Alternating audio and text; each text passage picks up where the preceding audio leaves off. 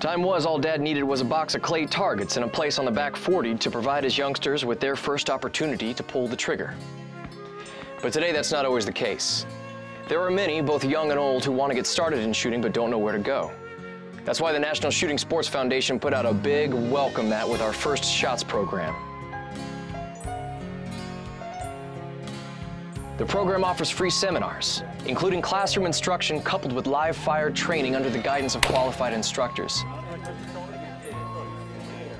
Well, it's almost as good as having dad stand behind your shoulder. In 2011, more than 5,000 newcomers took their first shots, and many of them are now active shooters and loyal customers at the club where they were first introduced.